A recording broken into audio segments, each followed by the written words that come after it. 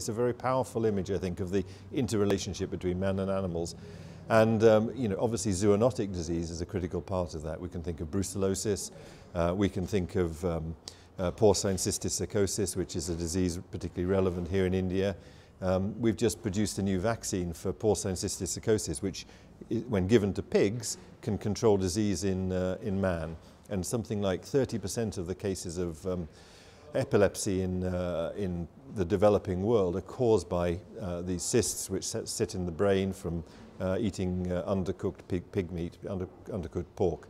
And this vaccine can help to break that cycle and eliminate a disease in man, uh, but through vaccination of pigs.